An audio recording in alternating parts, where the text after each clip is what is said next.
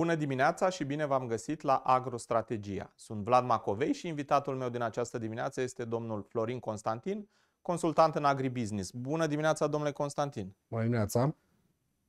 Ce vă place dumneavoastră, sunt convins. Emisiuni de bilanț, așa, în care să tragem niște concluzii. Singur, sigur, dincolo de uh, clișeele acestea cu uh, emisiune festivă, ce a fost în 2023, cred că totuși ar fi interesant de, de văzut pentru fermieri. Uh, l-am avut pe Lucian Buzdugan care vorbea de greșelile care s-au făcut în 2023. Uh, dumneavoastră, cum evaluați părțile acestea ale paharului? Partea plină, partea goală? Ce a mers bine în agribusiness în 2023 și ce a mers prost din punctul dumneavoastră de vedere? Că poate vedem niște lecții pentru 2024 care să ne ajute. În general, românii pun părerea lor ca o valoare generală. Eu nu vorbesc din părerea mea, vorbesc din studii. Noi suntem o companie uh, care ne bazăm pe date. Chiar acum suntem în plină colectare a unui studiu de competitivitate pe care îl facem fiecare an uh, firma noastră în mod gratuit pe sectorul agroalimentar. Deci luăm uh, input de la decidenții director general, director de resurse umane Uh, și chiar director comercial și uh, le inclu- toate aceste concluzii le includem într-un studiu. Uh, chiar ieri vorbeam cu un director general la o firmă mare, distribuitor de inputuri agricole, multinațională cu peste 100 de milioane de euro cifră de afaceri anual în România și l-am întrebat să-mi descrie într-o frază memorabilă anul 2023 și mi-a spus că este nota de plată a ultimilor trei ani precedenți. Uh, într-adevăr, am fost într-un roller coaster uh, începând cu 2020, uh, pandemie, secetă, 2021 a revenit, 2022 inflație, 2023 într-adevăr avem impresia că toate lucrurile acestea au explodat cumva în același timp și nu neapărat în favoarea agricultorului român. Agricultorul român a fost prins într-o, într-o strânsoare greu de suportat, între un ciocan uh, al prețurilor care au crescut necontenit la inputuri, la tehnologii uh, și nicovala uh, condițiilor meteoclimatice care au redus semnificativ producția și niște prețuri foarte slabe la materiile prime pe care le-a pus pe piață. Mulți agricultori sunt în dificultăți. Avem un parametru foarte simplu prin care mm, cuantificăm acest lucru Uh, distribuitorii care le-au vândut tehnologie cu plata la recoltare de-a lungul anului 2023 uh, acuză la această oră un procent de recuperare a creanțelor, a datoriilor fermierilor de aproximativ 70%, ceea ce este foarte, foarte puțin. Anul trecut, în decembrie, eram la, sau într-un an normal, suntem întotdeauna peste 95%. Deci este o diferență deci foarte mare. fermierii nu prea au plătit, nu? Nu au cu ce să plătească. Nu, nu au cu ce, nu, nu că, că nu au dorit. Vrut. Nu, nu că nu au vrut, într-adevăr, nu au cu ce. Uh, riscăm un blocaj financiar pe lanțul de valoare. Uh, ne uităm cu îngrijorare și la sezonul de toamnă, care a început de bine de rău. Uh, Rapița nu va mai avea succes ca anul trecut. A fost secetă, probabil că vom vorbi de jumătate din suprafața cultivată anul trecut și recoltată, că anul ăsta s-a cultivat un pic mai mult chiar decât anul trecut. Adică o scădere undeva estimează experții între 6, de la 600.000 de hectare în 2023 la poate 250-300.000 de hectare de rapiță în 2024, efectiv recoltate. Aici o altă problemă, s-a investit bani în semințe, în pregătirea terenului, în sămânțare, trebuie întors, cultivat altceva în primăvară. Deci nu am început sub niște auspicii extraordinare. Că vorbim de această menghină. Ă, fermierul totuși ar fi putut fi mai bine pregătit, adică strategia lui de management să fie mai bine uh, construită, pentru că știți cum e, e menghină, dar dacă ai fost uh, la sală, dacă te-ai hrănit corect, dacă ți-ai luat vitaminele, ai putea să reziști mai ușor meng- acestei menghine, nu? Nu avem, uh, nu am avut, pentru că lucrurile s-au schimbat, ce am să vă spun în ce, vă rog, vă rog. în ce fel, nu am avut o apetență foarte mare a agricultorilor de a se educa Uh, și de a învăța management, uh, nu cred că, uh, iarăși revin la remarca directorul general care ne-a răspuns înainte uh-huh. că plătim o notă de plată. Nota de plată, da. Um, fermierul român ar fi fost mai bine adaptat în condiția anului 2023 dacă planificarea fermei ar fi fost pe termen mediu lung. Agricultura nu este o afacere care se face în ciclu de producție. Trebuie să avem o proiecție de 5, poate 10 ani, dacă vorbim de achiziția de terenuri de 30 de ani, pentru a calcula retururi pe investiție, pentru a calcula investițiile corect, a le calibra corect. Foarte multe lucruri în fermă, inclusiv producția în sine, nu durează o săptămână, o lună, vorbim de luni de zile sau de ani de zile. Uh, și atunci, dacă am avea această perspectivă, uh, costurile pentru că la ora actuală agricultura românească s-a transformat dintr-o agricultură de oportunitate, unde produceam cu costuri foarte mici, plăteam arenda dacă era cazul, nu mai este cazul, acum toată lumea plătește arenda ca Se să scoteau ține terenul. profituri frumușele. Exista o stare de spirit în care, mă rog, costurile de producție erau foarte mici, acum costurile de producție sunt mari, uh, randamentele au scăzut datorită presiunii schimbărilor climatice și unde putem umbla ce e în controlul nostru, în mod cert costurile costurile care sunt costurile operaționale de campanie și costurile care vin din investiții, din amortizările investițiilor, din tot ce facem. Din și atunci, tehnologie? Bun, și tehnologia, uh, dar lucrurile s-au îmbunătățit, adică în a doua jumătate a anului 2023 consider că a fost un semnal de alarmă și un, uh, un cum să zic, o trezire. Adică fermierii au învățat management de nevoie, că în momentul în care au văzut că nu prea mai sunt bani, Uh, încep să, încep să te uiți la uh, balanța de venituri și cheltuieli, nu? Cum am constatat acest lucru? În primul rând, uh, vedem o afluență foarte mare a fermierilor, o receptivitate foarte mare față de noile tehnologii de cultură care mizează pe conservarea puținului de apă dat de precipitații în sol. Agricultura conservativă, agricultura sustenabilă nu mai este doar un cuvânt frumos în broșurile de CSR ale unor companii, ci chiar fermierii văd preocupați să facă lucruri concrete. Uh, chiar dacă și asta vine cu niște costuri suplimentare, această retehnologizare. În al doilea rând, pe partea noastră de cursuri, noi facem formare profesională. Dacă fermierii erau beneficiari, uh, să spunem așa, din când în când, uh, a ceea ce noi făceam, noi făceam mai mult formări cu oamenii din agribusiness, tehnico-comercialii de acolo, Anul acesta vedem o apetență foarte mare de a veni la sală și de a se instrui. Um, avem acum un program pe care îl programăm pentru începutul anului uh, viitor și avem sute de înscriși.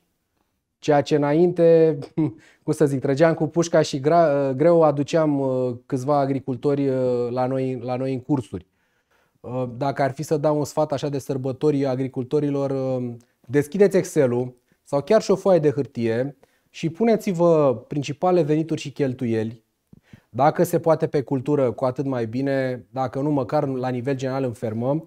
Și în momentul în care v-ați decis ceea ce aveți de făcut, urmați acest buget de-a, de de lungul anului. A fost o amăgire foarte mare legată de evoluția explozivă a prețurilor materiilor prime odată cu invazia din Ucraina. Uh, s-au dus la niște niveluri uh, extraordinare de nemai întâlnit Acolo sigur ne vom mai întoarce, piața s-a calmat și s-a desumflat această gogoașă speculativă. Recomand fermierului să nu mai vândă ca un speculator. Asta, de aici vine o principală tară în această dificultate economică, ci să vândă pornind de la calculul economic din fermă. Care sunt costurile mele, atât cele fixe cât și cele variabile, pentru că cele variabile au luat o amploare foarte mare de peste 50% din total. În momentul când mi-am făcut costurile și le controlez corect, să-mi setez un apetit de profit corect, nu fantasmagoric, probabil undeva la 10% ar fi un apetit de profit net corect o ma- un, și un margin undeva la 23% margin brut înainte de taxe și mhm. așa mai departe. Și în momentul când piața mi oferă un preț care mi acoperă acest apetit de profit și costurile, să vând marfa să nu mai stau pe marfă și să încerc să prind creasta, valul și așa mai departe, pentru că lucrurile sunt foarte volatile. Uh, o recunosc traderii, nu sigur, cei sigur. care fac asta în fiecare zi. Nu, ca... Și am văzut analiza cotațiilor din ultimele, nu știu, 12 luni, 6 luni, 24 de luni, cum, cum deci, vreți dumneavoastră. Revenind la bazele unei activități economice, ferma e o activitate economică, așa sigur, îmi place să sigur, cred. Sigur, sigur. Printre alte lucruri, generează multă pasiune, generează sigur. multe lucruri interesante. E un domeniu specific, dar e specific de-abia după ce ți-ai acoperit partea economică, nu înainte. Exact, deci asta este ordinea logică. Uh-huh. Și atunci agricultorii dacă fac asta, cei care urmează, pe care noi consiliem sau care mhm. colaborăm uh-huh. în diverse proiecte, care urmează aceste principii simple, care nu sunt ceva lucruri de nedescris sau lucruri care să fie inaccesibile muritorului de rând. Uh, cu un director financiar ok, cu un contabil competent, uh, cu un pic de atenție din partea proprietarului uh, și a echipei de care lucrează în fermă, se pot atinge niște rezultate ok chiar și într-un an prost. V-aș întreba dacă tot ce ați spus aici, toate aceste uh, evaluări, aceste principii sunt aplicabile și în fermele mici și mijlocii, sunt accesibile și vă mențineți acest sfat și pentru marea masă a fermierilor mici și mijlocii din România? Cu atât mai mult. Ah, cu atât Ava- mai mult. Nu? Avantajul fermei mici, bineînțeles că ferma mică trebuie să răspundă la un deziderat tot economic, uh, prin dimensiunea ei să exact. asigure exact.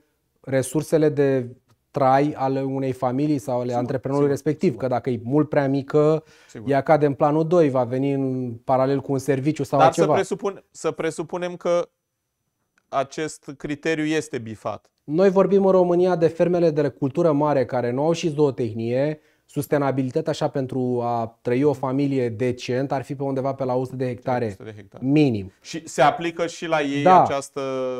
În mod cer, Tot da. ce ați spus aici se aplică 100%. În mod cer, da. Ei au un avantaj foarte mare, că a fi fermier mic nu e dezavantajos. De ce? Pentru că atunci când ești fermier mic, poți să-ți monitorizezi culturile mult mai bine decât unul care, uh-huh. bine, cunosc un fermier de 5.000 de hectare din Olt și îmi spune Florin, îmi vizitez ferma integral o la 2 ani. Deci fizic nu are cum Sigur. să acopere. Deci o fermă mică are niște avantaje. Poți să fii mult mai intensiv în ceea Corect. ce cultivi. Discutăm despre ce înseamnă anul 2024, dar și despre alte analize de agribusiness după o scurtă pauză de publicitate. Am revenit la agrostrategia împreună cu domnul Florin Constantin, consultant de agribusiness. Domnule Constantin, vorbeam înainte de pauză de această nevoie și de această oportunitate până la urmă pentru fermieri, mai ales pentru fermierii mici și mijlocii, de a aplica management în, în ferma lor. Pe ce loc vedeți războiul din Ucraina în influența aceasta a problemelor și a scăderii de profitabilitate a fermierului român? Pe ce loc ați plasa războiul din Ucraina? Uh, la această oră este unul dintre factorii agravanți ai situației care s-a întâmplat în anul 2023. A, deci nu e neapărat o cauză principală. Uh, este semnificativă. De ce? Pentru că, de exemplu, tot din studiul pe care noi îl colectăm acum și care va fi gata undeva în februarie, uh, vedem că impactul războiului în Ucraina în agribusiness este de peste 10%. Unele companii ne raportează chiar 20%, pentru că a crescut prețurile, mă rog, a, a bulversat anumite realități.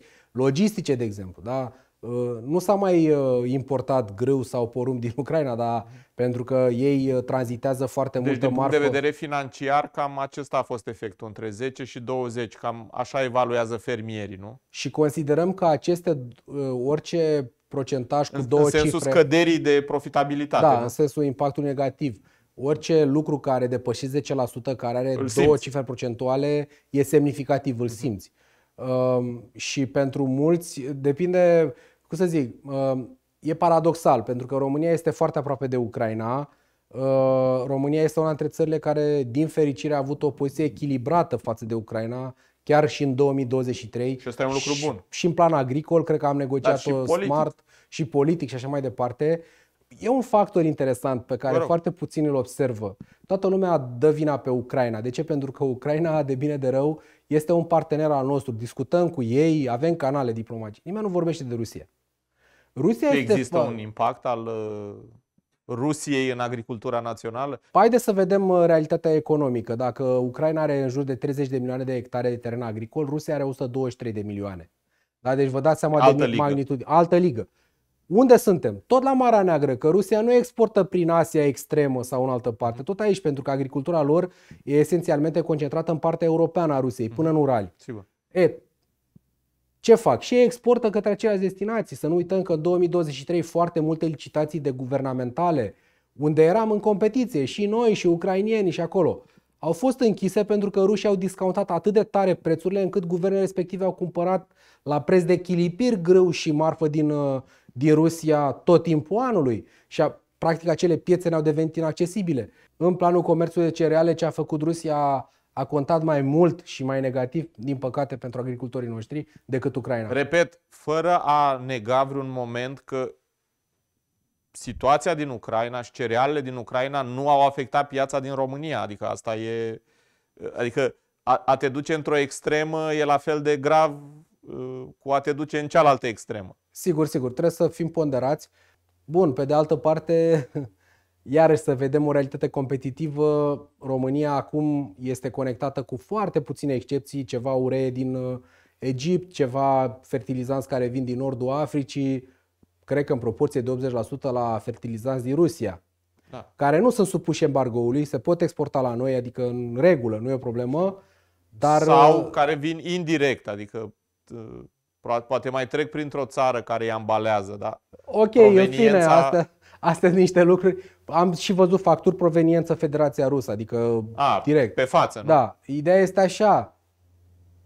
Am auzit de niște zăcăminte în România, da. că vom deveni cel mai mare producător de gaz, că stăm pe o pungă da. la Caragele, în județul Buzău, că este originar de acolo, nu e nicio mișcare, nimeni n-a dat un pus, nimic. Uh, în Marea Neagră. Gazul fiind face... materia primă uh, pentru, uh, pentru îngrășăminte. Și cumpărăm de acolo, de la ruși, la niște da. prețuri care iarăși au început să crească. S-au dus într-o zonă greu de suportat de fermierul român păgubit. Vorbeam de mediul de agribusiness, de această piață a produselor, serviciilor, tehnologiilor, soluțiilor pentru fermieri. Uh, cum vedeți uh, uh, lupta pentru supraviețuirea companiilor din acest domeniu? Că e, va fi și aici un reset, nu? Adică va fi un an care va, va tranșa într-un fel lucrurile. Și cu riscuri și cu oportunități. Nu? Că, ca în orice situație tulbure există și și. Am văzut două trenduri foarte importante desenându-se și noi să spunem că am fost în mijlocul lor. Um, în primul rând, uh, există companiile care brusc au tăiat tot. Toate costurile pe care le percepeau așa ca ne, neesențiale și comunicarea și marketing. Indirect productive, nu? Sau? Indirect productive sau nu știu cum. La și altele. Au tăiat... Dar nu erau la și altele, nu? Nu sunt pentru că vorbeam mai devreme de competitivitate. La poarta fermierului român Uh, panelul Kainete Klefman, care e de referință la nivel global, uh, detectează peste 400 de actori activi. Că sunt furnizori care fac o promovare, că sunt distribuitori care fac o ofertă, sunt. Uh, ecosistemul fermierilor români nu crește, scade pentru că avem un schimb de generații și în general fermele adică, se concentrează. Da, Lupta competitivă pe, se Același ascultă. număr de pescar, dar balta e mai mică, nu? Exact, și pești mult mai puțin. Da. Și atunci, cum să zic, să renunț la comunicarea competitivă mi se pare cea mai mare prostie, sincer, ca management, deși foarte mulți au făcut asta, tăiem bugetele ca să ce. Uh, uh, de fapt, e ca și cum am avea un vehicul de ultimă generație, pentru că firmele au tehnologii foarte ok, dar uh, pentru că nu avem bani să luăm un Seviș, vindem benzina din rezervor. Și nu mai avem cum să mai... Și al doilea trend? Al doilea trend este vorba de firmele care încerc, încearcă să educe fără a mai pune neapărat produsul în față. Uh-huh încearcă să și-au dat seama că a face doar uh, Vânzări. marketing orientat pe produs e un lucru bun, dar fermierii cumva au obosit. Și încearcă să educe și în alte planuri. Că este vorba de educație financiară, că este vorba despre o educație legată mai larg despre tehnologiile uh-huh. agricole, uh, încearcă să le aducă și valoare adăugată, nu doar broșuri. Pentru că în momentul marketing. acela aceia devin furnizorilor implicit pe termen lung, adică un fermier educat până la urmă e un fermier care se va orienta către produsele și serviciile din piață care îi răspund uh, cerințelor, pretențiilor deja. Nu toate firmele fac asta pentru că cumva este contraintuitiv. În momentul când, a, când care ți duci clientul, uh, cam tai cordonul umbilical de care da. el este legat de tine uh, sau prin care el este da. legat de tine, dar în același timp poți să sper la un beneficiu pe termen lung, okay. ca să ai o recunoaștere din partea lui. Domnule Constantin, vă mulțumesc foarte mult pentru informațiile transmise. Punem punct interviului de astăzi din Agrostrategia, iar noi ne vedem mâine la orele 10 la o nouă ediție Agrostrategia. Sunt Vlad Macovei și vă urez toate cele bune.